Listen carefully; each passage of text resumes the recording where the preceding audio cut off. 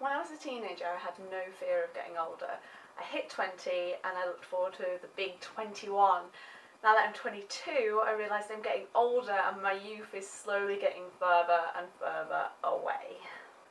I walked into the shop the other day to buy some scissors and the shop lady says to me, wait a second, I just need to verify this with the manager because you know now you've got to have ID, you've got to be 18 to buy scissors. I reply, oh, oh, do you need to see my ID? She answers, oh no, don't worry, I can tell you're older than 18.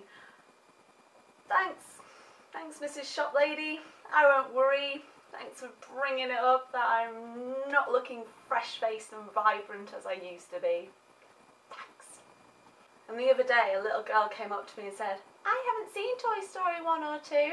I bitterly replied, that's because you wasn't born yet all these children that are going to see Toy Story 3 weren't even born yet for 1 or 2. It is so depressing.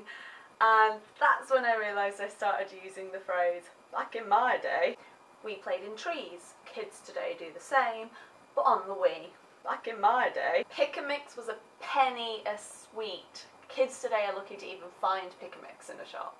Back in my day, I found out what sex was by watching it as a teenager in the movies kids today find out about it like at the age of seven.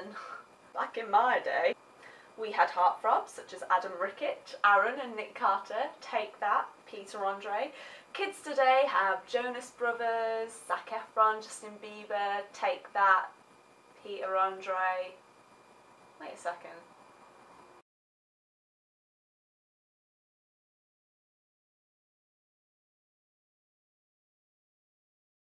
Back in my day,